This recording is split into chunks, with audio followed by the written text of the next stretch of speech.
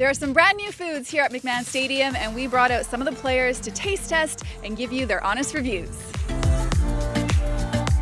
We actually have a beer battered French fries, Okay. like crispy, and then we have our uh, our food, our cheese curds, and then our homemade gravy. They're pretty crispy, yeah. You see what they're talking Alright, about? I'm gonna get a fry, put some cheese curds on there. Exactly. And I love fries. So This is called the Mexican hot dog. So it's uh, on Nathan's world's famous hot dog, and then 12 inches for sure. And then we have our uh, Saddledome uh, nacho cheese, and jalap- pickled jalapeno, and fre- uh, crispy tortilla chips. we got a big Lizzie. hey, I don't want you to record me eating this. Dude.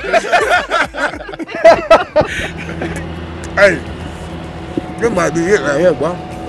This shit different. Yeah.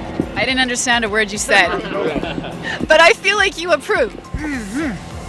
We're like a hot dog and nachos at the same Hot time. dog and nachos at the same time. Five. Five out of I five. got a five out of five on I'm gonna give this one a five too. Okay. Yeah, five across the board. For sure. Uh, inside is Dorito chips, and then we have our homemade uh, taco beef, Angus, certified. Uh, we have our homemade salsa, some lettuce, sour cream, and mixed cheese.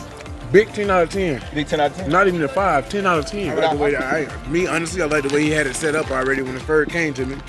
Right. Damn, I ain't bougie. So I uh, take my finger right here and I do the little scoop right here. Everything sit on top of each other in one spot. It's, it's, it's definitely flavorful. And then the chips with that little crunch. Yep. And I'm being bougie today. Got my fork in my hand. I don't want to get my hands dirty. Popcorn chicken, it's actually karaage chicken, so it's more flavorful. And we do have our own uh, in-house uh, sauces, like six of them. Yeah, this chicken was delicious. Uh, yeah, perfect amount of juiciness and crunchiness when you bite into it. This sauce right here. That honey hot. Go on, get you some honey hot now. There you go. Thank me later.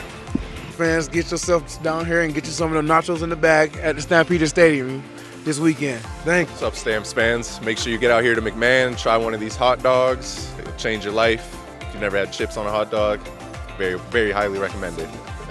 What's up, Stamps fans? Come down here to the stadium and get you some popcorn chicken. Do not forget this sauce. Thank me later. You got time.